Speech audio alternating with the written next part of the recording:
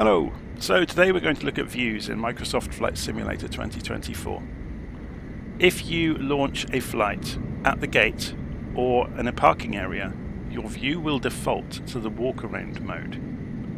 So you will probably have already figured this out, but W, A, S and D on the keyboard control the first person view in walk around mode. So if I go A, I go left, D takes me right, S moves me backwards, and W moves me forwards. While in walk around mode, I can press the right mouse button to make the pointer appear, and if I hold the right mouse button down, I can rotate the camera in first person view. Okay? So, if I want to view third person view to actually see my avatar rather than look through their eyes, I need to change a setting in the simulator. So press escape, go to settings, go to advanced options, and you will see allow third person view camera. And that needs to be on. So save and come back and back again. And now we can press the backspace key. So backspace toggles between first person view and third person view. Okay, so if I do that again, backspace, toggles back to first person and back to third person. So while I'm in third person view, you can see that again. W, A, S and D will move us around on the ground. But notice the pilot rotates as he moves. So you don't have to use the mouse to orient to walk when you're in third person view, but you may want to orient the camera. So just rolling the mouse around will do so. Okay, and if you keep pressing forwards, he will walk along in whatever direction. You know, he will walk away from the camera essentially when you press W. If you press S, he will walk back towards the camera. Okay, so to toggle between walk around mode and internal in or sorry um yeah internal mode then or normal mode as we might call it we press shift and C so we're now in the normal view, the normal cockpit camera view then, if you want to call it that. If you press Shift C again, you'll come back to walk around mode. Shift C again, and we're back in normal mode. If we press Shift and X, we go to drone camera. So there's the drone camera, and again, drone camera controls are the same, WAS and D. But we also have IJ, K, and L. So we can use IJ, K, and L to rotate. So J rotates left, L rotates right, I rotates up, K rotates down. Okay. You can also use plus and minus on the keyboard to zoom in and out. Okay. So then remember Shift and X toggles between whatever view you were in and the uh, drone camera. So Shift and X takes me back into the cockpit. When you are inside the cockpit, the key mappings are slightly different. You have to hold shift on with them to move the camera around. So obviously the mouse still works, so we can hold the right mouse button down and we can drag around to look around the cockpit. Okay? But if we want to move the camera, we have to hold shift on, so then we get A is left, D is right, W is forwards, and S is back. Then IJK and L also work. So J rotates left, L rotates right, I rotates up, and K rotates down. Also, Q and E move us up and down. So still holding shift down, E moves us up, and Q moves us down. Okay, if you get in a complete muddle and you just want to reset the camera, press shift and space, and it will reset you back to the pilot default forward looking view. Okay, so on to the thing that probably everybody's waiting for. How do you set up custom views in Microsoft Flight Simulator 2024? Because by default, you might want specific views around the cockpit to help you start the plane up from cold and dark. And the most common ones you, you might want in an Airbus, for example, is to look at the MCDU in you know full screen and also to look at the overhead panel. So, each aeroplane comes with a set of default views. They are configured to shift and the number keys. So shift and 1, shift 2, shift 3, 4, 5, six, seven, eight, nine, and zero. Okay, shift space takes us always takes us back to the normal view. The problem with that is they may not be the views you actually want to use. Okay, and they will be different for every aeroplane. They will be whatever has been configured by the air aircraft developer. So how do we change them? We turns out they've improved this enormously in Flight Simulator 2024. We can map whatever keys or buttons we want to save a view and to load a view. And we get 10 combinations of those. So let's go and have a look in the control configuration. So if we go into controls, make sure we have our keyboard selected. Or you don't have to use keyboard, but I'm going to use it because it makes the most sense for me to show you this. So make sure you have keyboard selected. And then go and search for load. It's just the word load look brings them up. You've got load custom camera 0 through 9. And you can see I've already mapped some of them.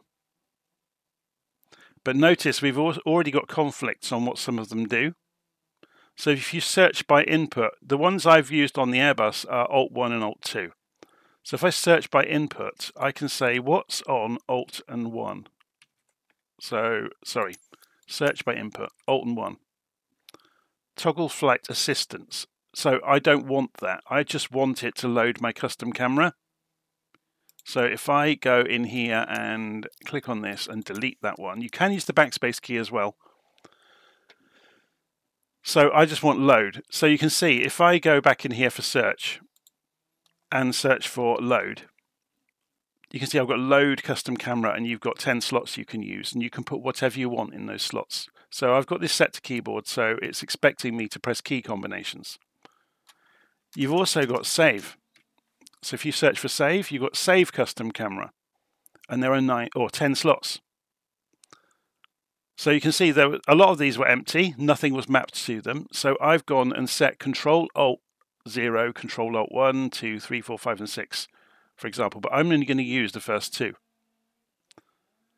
So if we come back out of here, and this will work for any buttons or any keyboards, so you could have a second keyboard, I guess or a stream deck or something like that to go and set your views up and then just map the button presses on it. But there you go. Anyway so resume. So by this token what I can do in this aeroplane say I wanted alt and 1 to look me overhead. I can go and move so I hold shift on and get my view where I want it and maybe look overhead by using I. I'm holding shift down remember and then Q will move me further away and I need to adjust it this way a bit. So that's broadly right for the Airbus. We just tweak it a little bit. There we go. So I want to remember that. So I mapped Control Alt 1 as save custom view 1. So Control Alt 1 and it's done it, yeah? So if I then press Shift and Space to come back to normal and I want to go back to that view, I can now press Alt and 1 because I mapped Alt and 1 to load custom view 1. Yeah, I could have mapped anything. So shift and space will bring me back. So by the same token, what if we want to do the MCDU? So I'll just demonstrate it. So we're going to move across the cockpit with shift and D.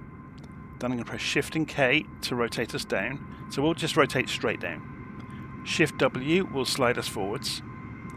Shift D and you just tweak it and then you can move up and down. Remember you can zoom as well, but Shift Q will drop us and you just tweak it around until you get it more or less where you want it. That's perfect. So Control Alt and 2 will give me the MCDU. So then if I press Shift Space, if I now just press Alt and 2, because I mapped Alt and 2 to load the second custom view. So Alt and 2, yep. Alt and 1 is custom view number 1. Shift and Space brings me back to the normal view.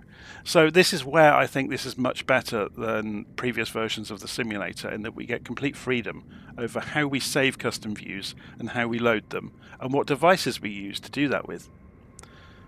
So one more thing to look at then is profiles. The one thing you need to be careful about is the profiles. So if you go into controls, I have been configuring a keyboard And you will notice if we go load, so load custom camera, all of these mappings are part of the general control for the simulator. Okay? So every time I have been mapping controls for the Airbus in particular in this case, I have been mapping or changing the general profile. So every time I've got into a new aeroplane and configured any views for it, it will have asked me because it will have been on, notice it says my new general profile. It made that when I made the Airbus. So I need to rename that profile now because these are the views for this particular aeroplane. So if I rename this view and I'll call it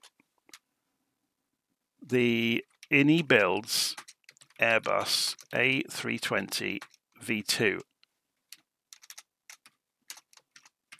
keyboard profile. Okay, so we do that because these custom camera views, which are the only things I've altered on the keyboard for this aeroplane, are all in the general profile. So the general profiles here. So this is controlling the simulator, remember. So simulator controls tend to be in the general profile. So the keyboard profile for general is INIbuilds Airbus A320 V2. Okay, So if I wanted to do away with that and go back, so I messed everything up and I wanted, actually I want it back as it was, factory fresh. I can scroll through and I can get the 2020 keyboard bindings. Okay. If I want to then switch over to the profile I've just renamed, we can do that. So if we went back to the default ones, look, you can see we've got some custom views in there. If we go have a look through some of these. Have we got a...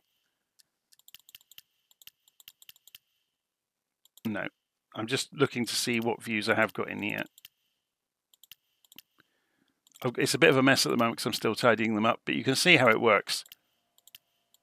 So I've got several different airplanes in there. So I've made sure that I've renamed the one I changed. The reason for doing that is when you are looking at one of the default profiles for a keyboard, as soon as you change anything, or for any control, as soon as you change anything, it will ask you about saving it. Save it under the aircraft name is the easiest way. And the reason for that is the simulator will remember the profile you are using for that aeroplane.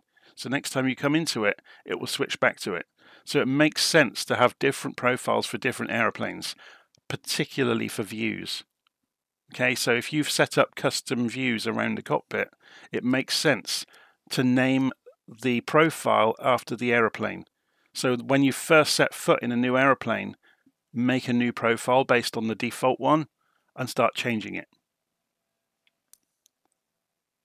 Okay, so how do you deal with um, uh, so mapped controls that are going to conflict with what you want to do? So if you come back and have a look, so if I go and press no, I've already I've already unmapped it, so it's not going to be a problem. I'll show you it in the, in the keyboard mappings. Sorry, this is a little bit confusing. We're going into controls. We're looking at the keyboard, and I want to search by input. Or we could go and say um, load. So those are the there are those load mappings, and you can see these ones have got a one next to them. What does that mean? So let's go and press Alt and 3. So if we search by input, and press Alt and 3, I've made a mistake when I configured this. So I've configured load and save on Alt 3 and Control Alt 3, but there's also toggle taxi ribbon. So I want to remove that. Otherwise, if I was to save something on Alt and 3, when I press it, it will toggle the taxi ribbon. So I need to go in here and delete the control and come back. Okay, so now I've only got those things mapped to Alt and 3. So it's worth searching for each input you want to use. So if you search and say Alt 1, the only thing I've got on there is load and save. Search by input, Alt and 2. And the reason for being so careful is watch. If I put Alt and 7, toggles head tracking. Search for Alt and 8, resets eye tracking. So you may have other things mapped so just be careful.